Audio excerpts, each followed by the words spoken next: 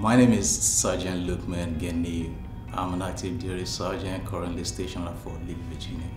I recently completed a Master of Arts in Procurement and Acquisition Management with certificate in government contracting.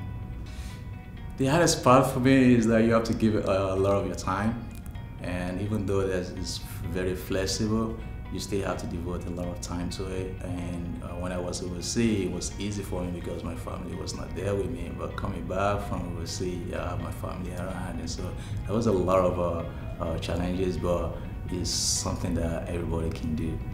My name is Lukman Ganiyu, and I am a good luck.